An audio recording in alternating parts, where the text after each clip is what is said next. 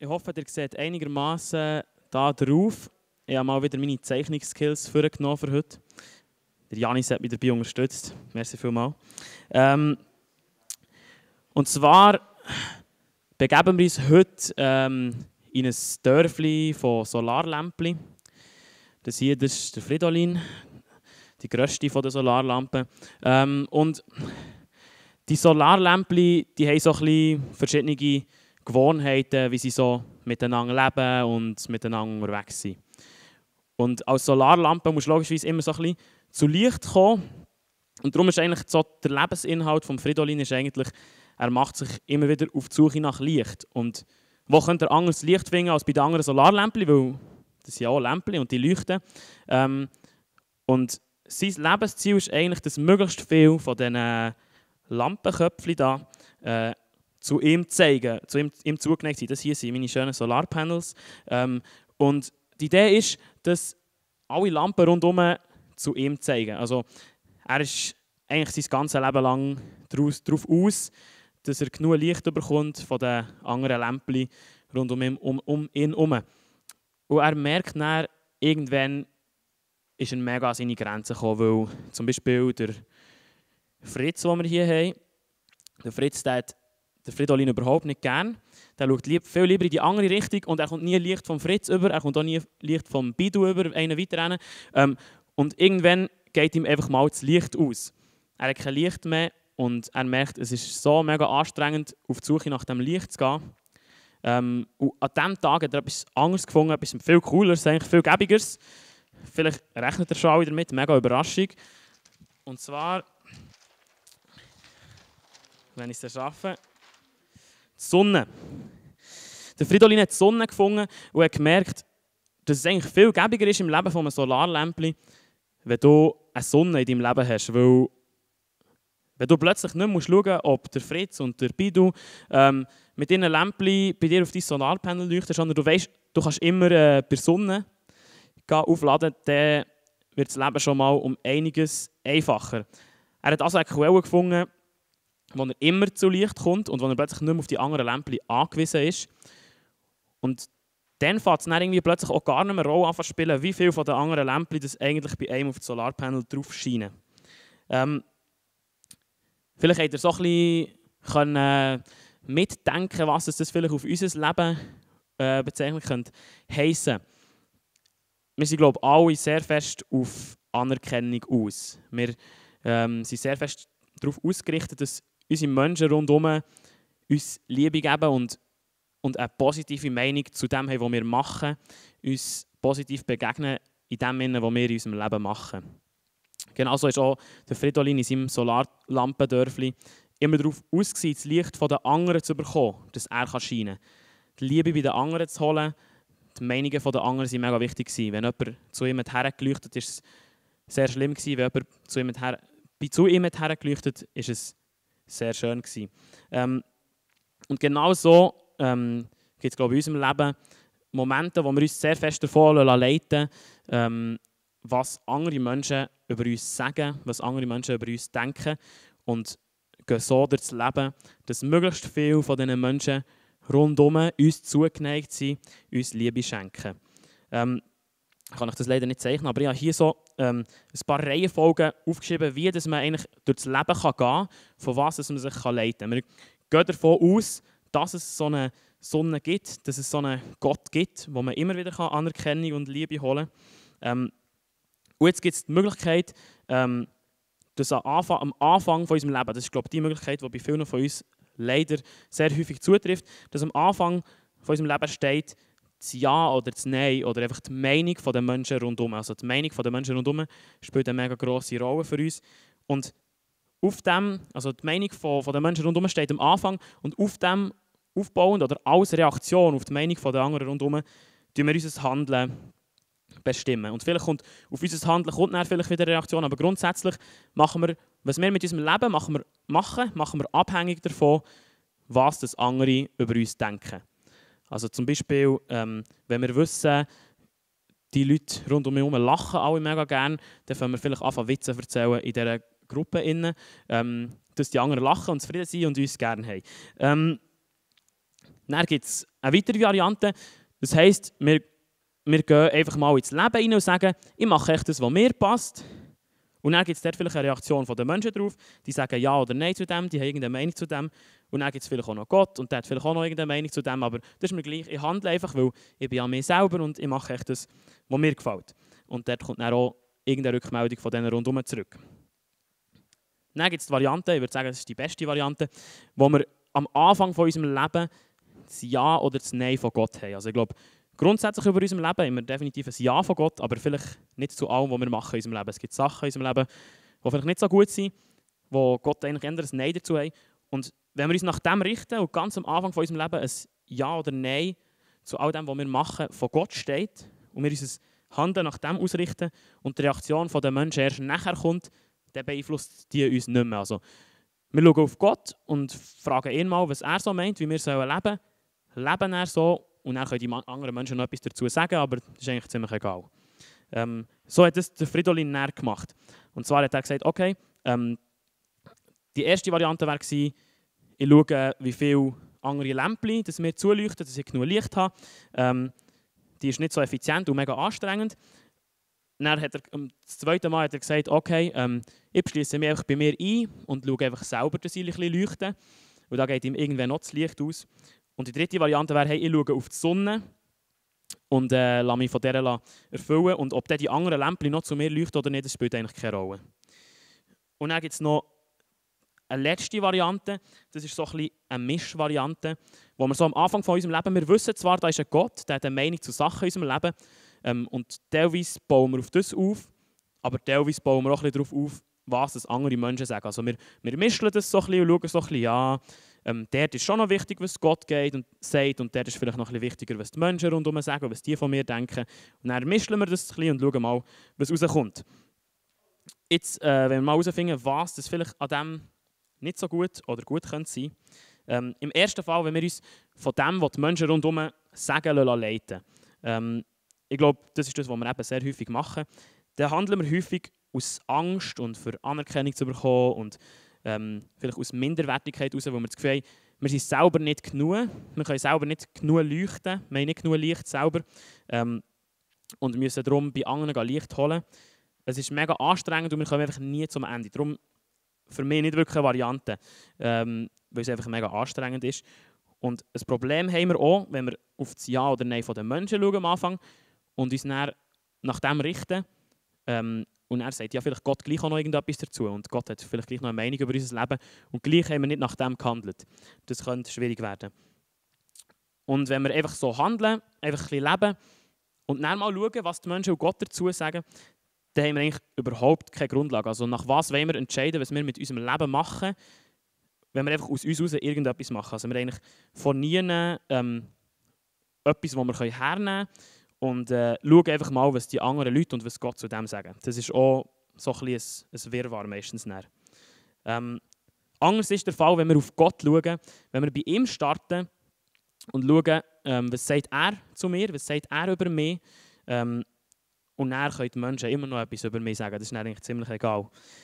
Dann handeln wir nicht mehr, nicht mehr aus Angst und äh, für Anerkennung zu bekommen, wie bei den Lämpchen, wo andere Lämpchen für sich gewinnen sondern die Sonne, die musst du nicht für dich gewinnen, die ist einfach oben im Himmel.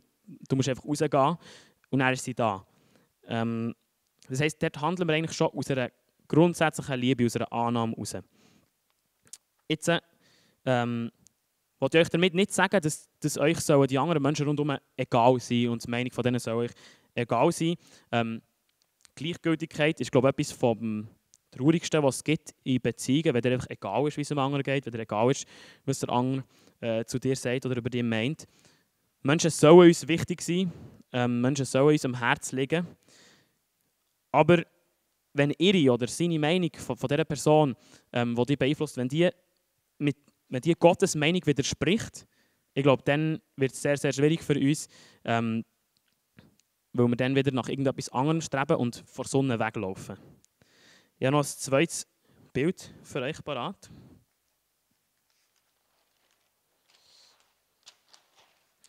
Wir haben hier so eine Waage, vielleicht, ich weiß nicht, wie gut man es bis hinten sieht. Das hier ist eine Waage mit einem Ja und mit einem Nein. Und Da haben wir Menschen hinten dran, wo da können wir Steine drauflegen und da haben wir auch Menschen hinten dran. Und da haben wir noch so einen mysteriösen Hang mit einem größeren Stein. Ähm, und ich glaube, das, das fasst das Ganze so ein bisschen zusammen. Vielleicht sieht man, dass nicht alles von der gleichen Person ist gezeichnet wurde. Äh, Hang sticht ein bisschen raus, merci Nina. Ähm, ich glaube, man sieht hier, warum dass es nicht darauf ankommt.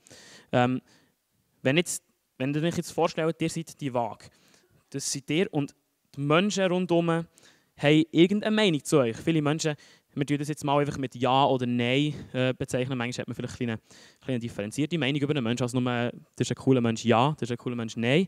Ähm, da geht es noch, noch ein bisschen mehr Teufel. Aber ähm, wir tun es jetzt mal so vereinfachen. Und da gibt es Menschen in eurem Leben, die stehen hier Schlangen. Die finden, der Teufel, das ist ein blöder Keib, ähm, der tut mir immer mit dem 12 Uhr im Tag und äh, mit dem kann ich nichts anfangen. Ähm, und die haben eine schlechte Meinung über dich, die haben eine negative Meinung über dich. Und die kommen sozusagen in deinem Leben mit so einem Steinchen und legen das auf die Nein-Seite deiner Waage. Und dann gibt es Menschen, die sagen, hey, der Teufel, das ist ein richtig cooler, ich spiele immer mit dem Tag, er tut unseren Gegner immer mit dem 12 hey. Ähm, und darum finde ich ihn eigentlich noch ein cooler Typ. Ähm, und die stehen dann bei Ja-Schlangen an ähm, und die legen dort ein Steinchen drauf. Und jetzt sehen wir, warum das so entscheidend ist, ähm, in welcher Reihenfolge dass wir sozusagen unser Leben leben. Jetzt können wir entweder sagen, wir warten darauf, bis alle Menschen ihre Steine drauf äh, draufgelegt haben. Und wir probieren, möglichst viele Leute zu überzeugen, komm doch in die Ja-Schlange in meinem Leben, oder? Komm doch hier rüber ähm, und leg da ein Steinchen drauf. Ähm, das ist das, was der Fridolin gemacht hat. Er hat möglichst viele Lämpchen überzeugen, ähm, auf sein Solarpanel zu leuchten und ihm Energie zu geben. Das ist genau das, was mega anstrengend wird, wenn wir in unserem Leben alle rundherum müssen davon überzeugen dass sie uns cool finden Das wird sehr schwierig.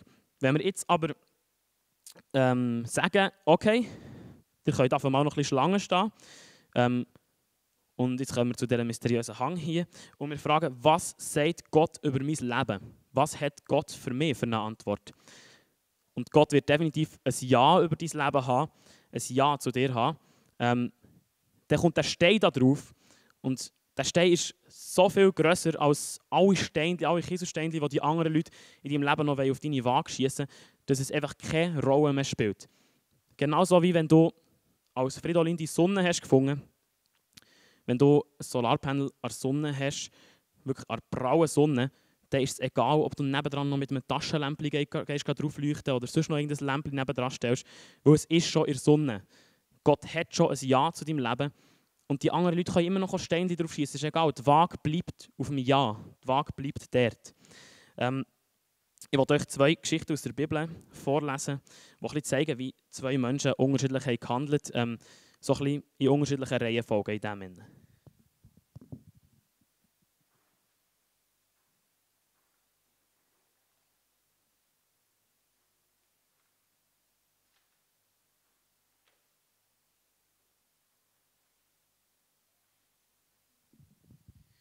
Wir fangen mit einem Mann an, den man einigermaßen kennt. Das ist der Jesus.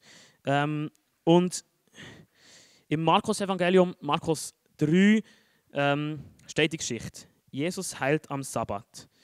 Wieder ging Jesus in die Synagoge. Dort bemerkte er einen Mann mit einer verkrüppelten Hand. Seine Gegner beobachteten ihn ganz genau. Wenn er am Sabbat die Hand des Mannes heilen würde, dann könnten sie ihn anklagen. Jesus sagte zu dem Mann, Komm her und tritt in die Mitte. Dann wandte er sich an seine Gegner und fragte, ist es nach dem Gesetz erlaubt, am Sabbat Gutes zu tun, oder ist es ein Tag, um Böses zu tun? Ist dies ein Tag, um Leben zu retten oder zu vernichten? Doch sie schwiegen. Zornig und erschüttert über ihre Hartherzigkeit sah er sie an. Dann forderte er den Mann auf, streck deine Hand aus. Der Mann streckte seine Hand aus und sie wurde wieder gesund. Daraufhin zogen sich die Pharisäer zurück und trafen sich heimlich mit den Anhängern des Herodes, um zu planen, wie sie Jesus töten können. Also, Jesus hat da ziemlich, ziemlich eine klare Botschaft bekommen von seinen Menschen, in welcher Schlange das sie in seinem Leben anstehen. Ähm, sie haben ganz, ganz ein klares Nein über sein Leben gehabt. Also ein klares Nein, als wir den umbringen über ein Leben, kannst du nicht haben. Ähm, und sie haben ganz klar entschieden, ähm, wir haben ein Nein zu Jesus. Und wir haben vor allem ein Nein zu dem, was Jesus hier macht. Und Jesus hat gesagt, hey, das ist mir ziemlich egal, die könnt jetzt einfach mal noch warten. Zuerst frage ich mal, was Gott, was mein Vater für eine Antwort hat ähm, zu dem, was ich hier vorhabe. Ähm, oder zu, dem, zu der Situation, die ich hier in meinem Leben habe. Und Gott hat er ganz klar ein Ja zu dem, was Jesus macht und sagt, hey, ich bin die Vater, ich bin die Liebe und ich habe ein Ja dazu, dass du Liebe verbreitest, dass du Menschen heilst, dass du den Mann gesund machst. Und Jesus ist egal, was die anderen darüber sagen und vor allem auch egal, wie das die anderen handeln. Ähm, wenn man dann hört, dass es heisst, und sie haben nachher einen Plan anfangen für ihn umzubringen. Also das ist die krasseste Situation, in deinem Leben, ähm, wo du mit dem konfrontiert bist, wenn, dir, wenn du auf Gottes Meinung los ist und er sagt dir etwas, was du sollst machen in deinem Leben und du weißt, wenn ich das mache, dann können sie ein paar Leute mehr umbringen. Ähm, nicht so die alltägliche Situation, ähm, aber das ist die krasseste Form davon. Ähm, und in unserem Leben erleben wir das vielleicht in kleineren Sachen, ähm, vielleicht ein bisschen weniger krass. Ähm, aber zum Beispiel, ob wir jemanden anlügen oder nicht. Ähm, manchmal wissen wir, wenn wir die Person anlügen, dann wird die Person, die Person vielleicht ein Ja zu dem haben, äh, was ich jetzt in meinem Leben zu mir habe. Zum Beispiel, wenn die, äh, deine Mami fragt, äh, hast du Schoki weggegessen? Ähm, und du sagst Nein und lügst sie an, ist, ist ganz klar, der, der wird ja ein Ja dazu haben, das ist ja kein Problem. Jockey nicht weggegessen zu haben, ist sicher kein Problem. Ähm, aber Gott hat nicht ein Ja zum Lügen. Und dann bist du so ein bisschen im Clinch zwischendrin. Und wenn du zuerst auf Gott los und auf sein Ja zur Wahrheit los und die Wahrheit erzählst, dann kann es sein, dass deine Mami in dem Moment ein Nein hat, wo sie sagt, hey, ich habe das für ein Schocki muss brauchen. Ähm, und jetzt ist die Schocki weg, jetzt haben wir ein Problem. Ähm, und gleich äh, spielt es keine Rolle mehr, weil Gott so schon sein Ja zu dieser Handlung hat gezeigt. Jetzt haben wir noch ein zweites Beispiel. Ähm, und das ist einer, den man kennt. Das ist der Petrus. Der war mit Jesus unterwegs. Gewesen. Und das, was wir vorher gelesen haben, ist da langsam in Erfüllung gegangen. Und zwar haben sie Jesus wirklich umbringen Es ist recht klar geworden, dass der jetzt gut an ein Kreuz gehängt wird. Ähm, und vorher hat, er noch, hat der Petrus noch mit Jesus geredet. Petrus behauptete, selbst wenn dich alle verlassen, ich werde bei dir bleiben. Petrus, erwiderte Jesus, ich versichere, versichere, dir, noch in dieser Nacht wirst du mich dreimal verleugnen, ehe der Hahn kräht. Nein, beharrte Petrus, nicht einmal, wenn ich, mich, wenn ich mit dir sterben müsste. Ich werde dich niemals verleugnen. Und alle anderen Jünger beteuerten dasselbe. Dann gehen wir da ein bisschen weiter. Äh, ein bisschen später Überschrift von dem heißt Petrus verleugnete Jesus. Ähm, schon ein kleiner Spoiler. Während Petrus draußen im Hof saß, äh, ging eine junge Dienerin vorüber und sagte zu ihm: Du bist doch auch einer von denen, die zu Jesus dem Galiläer gehören. Doch Petrus leugnete laut, so dass es alle hören konnten. Ich weiß nicht, wovon du sprichst, sagte er. Später, als er draußen am Tor war, bemerkte ihn eine andere Dienerin und auch sie sagte zu den, den Umständen, dieser Mann war bei Jesus von Nazareth, Nazareth. Und wieder leugnete Petrus, diesmal schwor er sogar, ich kenne den Mann noch nicht einmal. Ein wenig später kamen andere Umstände und sagten zu ihm, du musst einer von ihnen sein, wir erkennen dich an deinem galiläischen Akzent. Wieder sagte Petrus, ich schwöre bei Gott, ich kenne diesen Mann nicht. Und in diesem Augenblick krähte der Hahn. Plötzlich fielen Petrus die Worte von Jesus wieder ein. Ehe der Hahn kräht, wirst du mich dreimal verleugnen. Und er ging fort und weinte bitterlich. Also da haben wir den Petrus, der das Versprechen abgibt. Wo Jesus sagt, ich werde dich nicht verleugnen. Ich werde zu dir stehen. Und nicht allzu viel später leugnet er ihn dreimal nacheinander, schwört sogar bei Gott, dass er Jesus nicht kennt. Und zwar einfach, weil er Angst hatte. Einfach, weil, er, weil ihm wichtiger war, was die Frau oder der Mann und all die, die rundherum sind gestanden, von ihm denken oder auch was sie mit ihm würden machen? Ähm, wenn Jesus dort umgebracht ist worden, ist das vielleicht ein Zeichen dafür, dass sie ihn nicht mega gerne hatten, die, die ihn umbringen. Ähm, Und da haben sie wahrscheinlich auch nicht eine mega coole Meinung über die Leute, die mit Jesus so ein bisschen Zeit verbracht. Haben. Und darum hat der Petrus gefunden, ich stelle das Ja der Menschen oder das Nein der Menschen im Vordergrund, entscheide mich nach dem und schaue dann, wie die Waage aussieht. Ähm, und hat dort entschieden, gegen das, was Gott äh, eigentlich sagt, was Gott immer gesagt äh, zu widersprechen. Und das ist, das ist eigentlich, sind so die zwei Beispiele gewesen, wie das man eigentlich handeln kann. Es gibt mehr oder weniger die zwei Möglichkeiten, ob du auf das Ja oder Nein von Gott hörst oder nicht. Und wenn nicht, dann wirst du meistens wahrscheinlich auf das Ja oder Nein von den Menschen hören. Ähm, ich habe noch ein paar Beispiele für euch parat, wie das konkret im Leben vielleicht könnte aussehen könnte. Ähm, ein Beispiel, das wir gerade letzte Woche die Leute, die im Konflager waren, glaube häufig haben erlebt ist ganz etwas Kleines, ganz etwas Einfaches, ähm, das Aufstehen im Worship. Wenn wir zusammen singen, zusammen vor Gott kommen, haben wir manchmal vielleicht das Bedürfnis aufzustehen, wenn wir sonst im Hocken wären, hier im Surprise stehen wir eigentlich immer, das ist nicht so das Problem, dann ist vielleicht das Bedürfnis abzuhocken. Ähm, und ich glaube, wenn du das möchtest, dann findet es Gott mega cool, wenn du das auch machst, weil das ist eigentlich ehrlich zu dir selber. Wenn du das hörst, ich will aufstehen, ähm, ist es ehrlich zu dir selber und auch ehrlich zu Gott, wenn du das machst. Und gleich machen wir es häufig nicht. Warum machen wir es nicht? Weil wir wissen, wenn ich jetzt der Einzige bin, der in diesem Raum hier aufsteht, weißt du, wie blöd dass die alle schauen.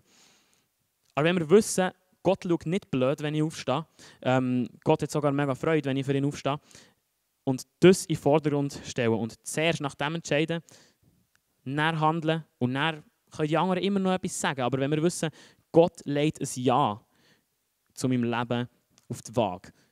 Gott legt dort ein Stein drauf zu meinem Leben oder auch in einzelnen Situationen zu dieser Entscheidung in meinem Leben, dann spielt es überhaupt keine Rolle mehr, was es die anderen Leute rundherum machen. Ich glaube, wir sind alle wirklich sehr, sehr viel mit dem konfrontiert. Ähm, ein Beispiel wäre zum Beispiel Social Media. Ähm, also wenn ihr irgendwie auf Insta seid oder so, dann ist das dort ist zum Beispiel noch recht wichtig, was andere über ihn denken. Ihr ähm, postet dort ein Bild und die meisten von euch ähm, denken auch nicht, ja, Gott hat es schon geliked ähm, und jetzt ist eigentlich egal, wer alles es sonst noch liked. Ähm, weil Gott, ich gefalle ja Gott und das Bild, das ich da gemacht habe, gefällt Gott auch. auch. Ähm, jetzt ist egal, was die anderen denken, sondern vielleicht seid ihr dreimal am Tag oder zehnmal am Tag oder 50 Mal am Tag auf Insta und schaut, wer hat alles mein Bild jetzt noch geliked und wer hat es noch nicht geliked. Wer legt alles ein Ja zu diesem Bild auf, äh, auf die Waage und wer legt alles ein Nein zu meinem Bild auf die Waage. Dann seid ihr definitiv nicht frei, definitiv nicht unabhängig, sondern abhängig davon, was sagen die anderen, was machen die anderen, was denken die anderen. Wenn du aber mit einem Ja von Gott durch dein Leben gehst, sollte das eigentlich keine Rolle spielen. Und das bringt mich ehrlich gesagt immer wieder selber zum Denken und da realisiere ich aber, wie wenig dass ich vielleicht manchmal noch ein Ja von Gott in meinem Leben wirklich spüre. Weil es mir nämlich sehr wichtig ist, was die anderen über mich denken. Weil es mir wichtig ist, ob die anderen blöd schauen oder nicht, wenn ich aufstehe. Ähm, weil es vielleicht manchmal entscheidend ist, wie viele Leute das mir an diesem Tag jetzt haben geschrieben und wie viele nicht. Ähm, wo ich alle fünf Minuten das Handy checke, um zu schauen, ob mir irgendjemand hat geschrieben hat. Ähm, wo ich irgendwie Angst habe, etwas zu verpassen. Angst davor, dass die anderen Leute mich nicht genug gerne haben oder dass mich nicht genug Leute gerne haben. Ähm, ich weiß nicht, wie es euch geht, aber mir ist definitiv die Meinung von den Menschen, die hier Schlangen stehen, sehr wichtig. Und ich mache die Abrechnung vor Waage wahrscheinlich eher nachdem die Menschen etwas draufgelegt als nachdem, wo Gott etwas draufgelegt hat. Ich habe noch ein, ein konkretes Beispiel ähm, aus meinem Leben. Und zwar in der Gimmerzeit ähm, bin ich in der Schule ziemlich ein Arsch gewesen, habe ich das Gefühl. Oder so. Vielleicht bin ich das immer noch, aber ähm, dann konkret wirklich. Ähm, ich habe habe mich dort komplett anders verhalten, als ich das zum Beispiel hier in diesem Umfeld mache. Und habe dort wirklich ziemlich eine Maske aufgesetzt. Ähm, schon nur an Sprache hat man das vielleicht gemerkt, viel mehr im Fluchen gewesen, viel äh, anders geredet, ähm, viel weniger liebevoll miteinander umgegangen, viel mehr auf mich selber geschaut. Das war viel wichtiger, gewesen, dass es mir gut geht und auch wichtig war, dass die anderen einem gerne haben, dass man im Zentrum der Klasse steht, dass, dass man nicht so ein der, der Einzige ist, der hinten rechts im Ecke hockt oder so. Ähm, und dort habe ich gemerkt, hey, eigentlich ist es so gleich, äh, was die anderen Menschen dort denken, weil was, was bringt es mir, wenn, wenn, wenn, wenn ich überlege, der, der mich immer sieht, ist Gott der hat wahrscheinlich ein riesiges Schmunzeln auf dem Gesicht, wenn er sieht, was, was macht er hier für ein Theater in seinem Leben, läuft durch eine Tür und dann plötzlich ist er ein ganz anderer Mensch ähm, und dann läuft er wieder durch eine andere Tür und ist wieder ein anderer Mensch. Ähm, weil Gottes Meinung über uns, die bleibt immer gleich. Egal in welchem Raum dass wir uns befinden, egal äh, wie viele Leute es da sind, egal was für Leute es da sind, ähm, Gottes Meinung die bleibt immer gleich. Er wechselt nicht Schlangen. Es gibt vielleicht die Leute in unserem Leben, wo man merkt, oh, jetzt ist es entscheidend. Ähm, wenn ich jetzt zum Beispiel sage, ja, ähm, bei dieser Abstimmung, ähm, ne, ich, ich, lehne jetzt die Kampfjets ab und die andere Person ist völliger Kampfjet-Befürworter, ähm, dann wechselt der vielleicht schnell Schlangen bei uns im Leben ähm, und, und steht bei anderen Schlangen und hat mehr nur unbedingt gern. Dann merken wir, die Leute rundherum, die sind, äh, das ist nicht zu schaffen für uns. Wir können uns das gar nicht erarbeiten, dass alle Leute bei uns im Leben auf der Seite vom Ja stehen. Dass alle Leute alles in unserem Leben gut finden und uns immer gerne haben und dass alle Leute auf der Welt uns die coolsten finden. Ähm, das werden wir nie schaffen. Ähm, müssen wir auch nicht schaffen. Und es ist mega, mega ermüdend. Ich habe das so anstrengend gefunden in meiner Gimmerzeit. Ähm, darum bin ich auch viel daheim geblieben. Ähm, mich, mich immer zu verstellen ähm, und, und dort immer eine Maske aufzusetzen, immer mich anders zu verhalten, als ich eigentlich wirklich bin. Und ich wünsche mir mega für uns alle, dass wir auch, ich bin überzeugt, ja, ihr müsst es jetzt anlegen, aber ich bin überzeugt, wir haben ja hier recht viele Masken an. Ähm, und obwohl wir das vielleicht gar nicht unbedingt müssten. Weil wir eigentlich alle wissen, Gott steht in meinem Leben in Ja-Schlange und Gott steht auch in allen Leben von denen hier rundherum in Ja-Schlange. Ähm, und wie konkret dass wir das in unserem Leben können umsetzen können, da habe ich leider auch nicht die optimale Antwort parat. Sonst wäre es in meinem Leben auch noch ein bisschen schöner, wenn es mir ganz egal wäre, was die anderen rundherum denken oder wenn das nicht das ist, was bestimmt, wie sie mein Leben leben. Ähm, aber eine Variante ist sicher, zuerst mal Gottes Meinung überhaupt kennenlernen. Weil wenn wir nicht wissen, was Gott gut findet, was Gott gefällt, was Gott über uns denkt, dann wird es schwierig. Das können wir zum Beispiel in diesem coolen Buch hier, in der Bibel. Wir können das auch ähm, im Austausch miteinander. Wir können das mit Liedern, wie wir es hier machen. Wir können es im Gebet, in der Zeit mit Gott, Predigten oder Inputs hören. Es gibt ganz viele Möglichkeiten, für die Meinung von Gott ein bisschen besser kennenzulernen. Dann wissen wir schon mal, was sagt er. Ähm, und er ganz, ist ganz einfach und dann müssen wir einfach nach der Meinung von Gott leben. Ähm, leider nicht mega einfach eben, aber ähm, wenn wir Gottes Meinung schon mal kennen, wenn wir wissen, bei was für Sachen in meinem Leben steht er in Ja-Schlange und was, Gott steht manchmal schon in Nein-Schlange. Nicht in Nein-Schlange von dir, aber in Nein-Schlange von Sachen, die du machst. Wenn du äh, irgendwo Zeug stellen oder wenn du jemanden umgebracht ich glaube nicht, dass dort Gott in Ja-Schlange steht. Ähm, und das ist auch gut so. Und Gott steht gleich in der Ja-Schlange für dein Leben, für dich selber. Und äh, dort können wir echt probieren, ihn immer besser kennenzulernen, immer mehr Zeit mit ihm zu verbringen und herauszufinden, was er eigentlich über uns wirklich denkt. Uns gegenseitig auch in dem Innen ermutigen. Ich habe noch einen letzten Bibelvers für euch und ich werde euch den erzählen, weil ich, ich habe heute noch an dem Input, habe den Input heute noch fertig vorbereitet und ähm, ich habe dazu ein bisschen Worship gelost und weil ich viel zu faul bin, die Musik abzuladen, habe ich das auf YouTube gelost, immer mühsam mit Werbung dazwischen. Ähm, und dann, bei meinem Handy ist es noch mühsamer, weil immer wenn eine Nachricht reinkommt, wird die Musik so ein bisschen leislicher und dann wird sie wieder lauter. Und das heisst, jedes Mal, wenn eine Nachricht reinkommt, merke ich das. Ähm, ist auch ein Bereich, wo ich gemerkt habe, wie fest dass es mich interessiert, was andere über mich denken, was andere mir schreiben. Weil ich, egal wo in meinem Worship-Lied, wenn plötzlich Musik ist abgegangen, zuerst vielleicht am Moment ich, nein, nein, ich schaue jetzt nicht aufs Handy. Und dann zwei Sekunden später gleich geschaut, weil ich gemerkt habe, ja, was hat jetzt da, wer hat mir jetzt da noch geschrieben? Ähm, und heute ist auch die Musik leisiger geworden und äh, aus Reflex ich, bin ich aufs Handy schauen. Und leider ist es nicht eine WhatsApp-Nachricht, sondern meine Bibel-App. Ähm, und das hat mir ein Spruch, äh, ein Psalm ähm, rausgespäut dort. Psalm 27. Der Herr ist mein Licht, er rettet mich vor wem sollte ich mich noch fürchten? Also zurück zum, zum Fridolin. Nicht Menschen rundherum, nicht du selber oder irgendjemand ähm, ist das Licht in deinem Leben, sondern Gott ist das Licht in deinem Leben. Gott ist der, der immer wieder auf dein Solarpanel scheint und dich immer wieder mit Energie, mit Liebe, mit Hoffnung erfüllt. Und wenn du immer in der Sonne kannst sein vor was solltest du Angst haben? Was, was sollte dich interessieren, wie viele Lämpchen zu dir gerichtet sind und wie viel nicht, wenn du bei der Sonne, die so viel mehr Energie, so viel mehr Licht gibt, kannst tanken. Ich würde noch gerne zum Abschluss beten. Ja, du siehst, was für eine grosse Rolle das, das in unserem Leben häufig spielt, was andere über uns denken und wie sie mit uns umgehen und was sie, wie sie reagieren darauf, was wir machen in unserem Leben. Ich bitte dich wirklich, dass du immer wieder den riesigen Stein auf die Seite vom Ja in unserem Leben legst und uns zeigst, dass es so egal ist und die Waage nicht mehr wird kippen, egal wie viele Menschen ein Steinchen auf die Nein-Seite legen, weil, weil das einfach kein Gewicht hat, weil das nichts ausmacht. Herr, du bist der, der mir und der uns Licht gibt im Leben. Du bist die Sonne, die so viel stärker, so viel größer ist als all die kleinen Solarlämpchen, die einfach keine Auswirkung haben und keine Rolle spielen, Herr.